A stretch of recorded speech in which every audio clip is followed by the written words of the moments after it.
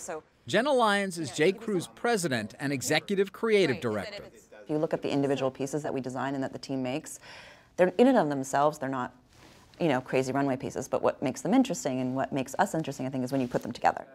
Each seasonal line takes more than a year to create. So for Lyons and her team, designing fashion is a lot like predicting the future.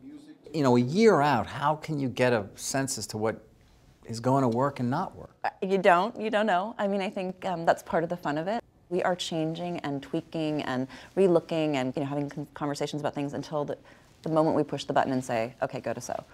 Why do we need three shawl cardigans? We don't. But before they sew, they have to settle on the new fall line.